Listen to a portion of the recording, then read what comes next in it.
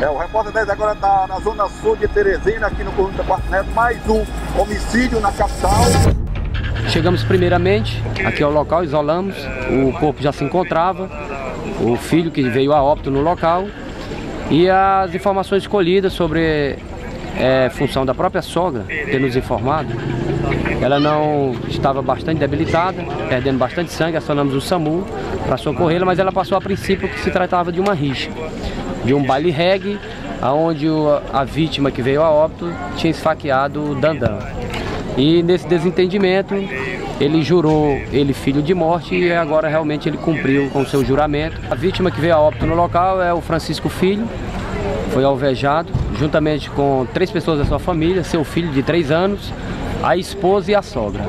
Eles foram socorridos pelo SAMU, a princípio fora de perigo, mas a polícia já deu a resposta à altura e o acusado já se encontra preso. Aqui é muito perigoso, viu? Nós precisamos de muita equipagem, de, de polícia, viu? Para vir resolver os problemas que está acontecendo aqui neste lugar. Fica difícil, está muito cavernoso aqui este lugar, viu? Com este rapaz já está indo bem uns três, né?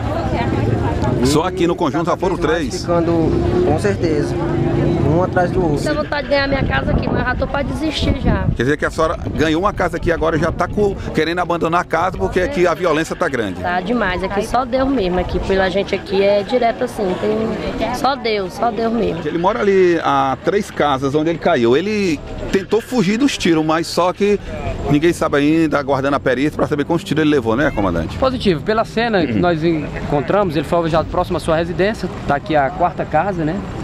Do local aqui de onde ele caiu. Provavelmente ele tentou empreender fuga para se livrar do desafeto, mas foi alvejado com vários disparos e só a perícia ela vai qualificar melhor a quantidade desses disparos e o calibre dessa arma. E a gente registrando mais um flagrante do repórter 10.